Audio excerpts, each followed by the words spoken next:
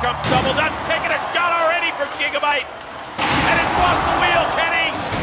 Oh no, serious damage all over the place. And there goes another wheel, Chris. Not a good start here for Double Dutch. No, Oh! picking it apart.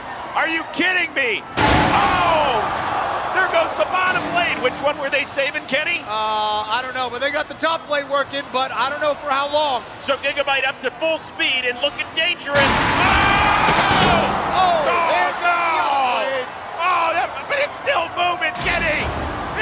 moving! I don't know how it's moving, Chris.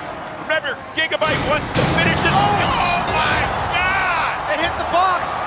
Did it take itself out? Wow. There could have been so much collateral damage with that huge hit that sometimes full body spinners stop working. I don't know. Gigabyte has the taste of blood. Now we're approaching Double Dutch, and he's going. He might be going in for the kill here.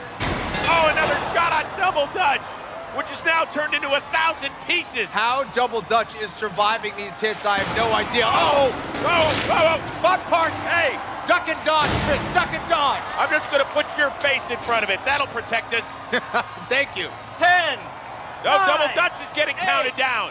7, Well, finally, somebody's Six, come to their senses. five, Gigabyte with an emphatic four, victory three, and won the box two, splitting cruise. Not one. too happy about. knockout.